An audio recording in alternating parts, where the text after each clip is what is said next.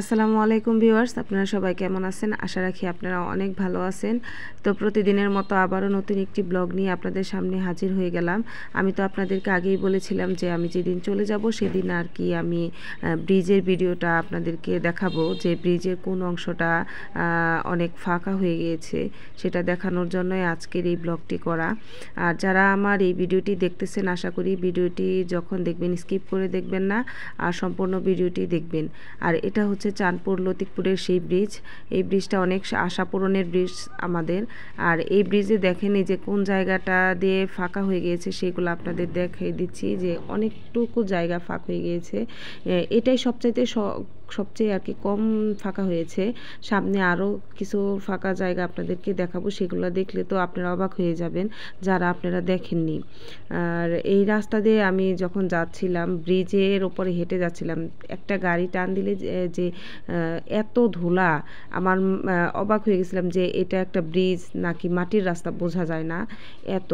বিশেষ করে আমাদের এলাকায় যে মাটিগুলা বিক্রি হচ্ছে, সেই মাটিগুলা বিক্রির কারণে এরকম হচ্ছে ব্রিজটা, আমার মনে হয়। ড্রাম ট্রাকের গুলাতে তাই আমি বলতেছি যে গ্রামের যারা উন্নয়নের কাজে লিপিবদ্ধ আছেন, তাদেরকে বলি যে, এই ব্রিজটার উপর যেন যে, ই ব্রিজ ড্রাম ট্রাকগুলো যাতে যদি না যায় যাওয়ার বন্ধ করার যদি ব্যবস্থা করা হয়, তাহলে ব্রিজটা আমি মনে করি যে ভালো থাকবে।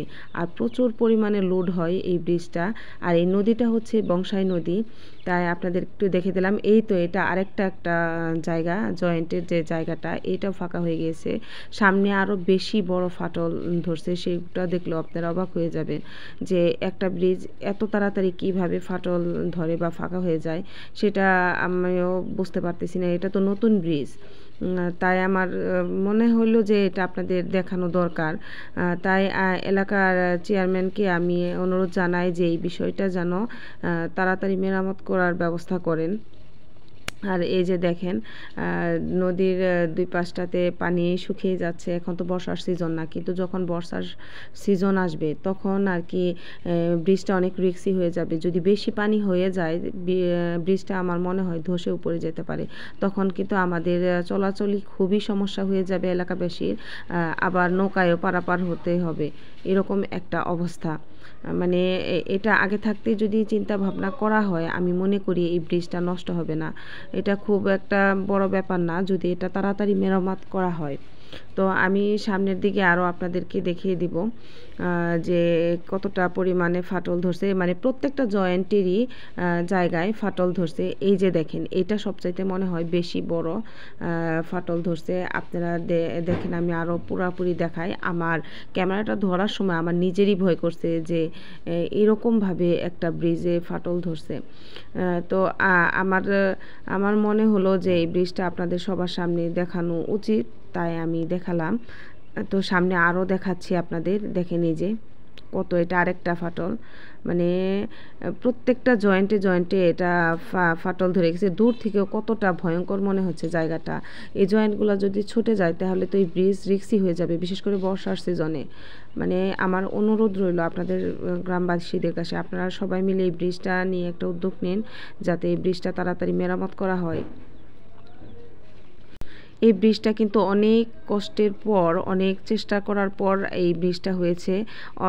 এই জন্যই আমাদের এই ব্রিজটাকে যত্ন সহকারে রাখতে হবে যাতে আমাদের এলাকাবাসীর কোনো ক্ষতি না হয় এই ব্রিজটা ফাটল ধরলে। এই যে মাঝখানে যে ধুলাই দেখেন পুরাটাই আটকে রয়েছে, কিন্তু ওই জায়গাটাও দেখা যাইতো না হয়। আর আর ওয়ালের কথা কি বলব? যে রেলিংগুলো দেওয়া হয়েছে, রেলিংগুলোতেও অনেকটাই ফাটল ধরে গেছে, সেগুলো আপনাদেরকে দেখাবো একটু। আর আমি রাস্তায় যখন যাচ্ছিলাম, ধুলার কারণে দাঁড়িয়ে থাকা যাইছিল না যে ব্রিজে এত ধুলা। রাস্তার মধ্যে তো এত ধুলা নাই ব্রিজে কেন এত ধুলা থাকবে?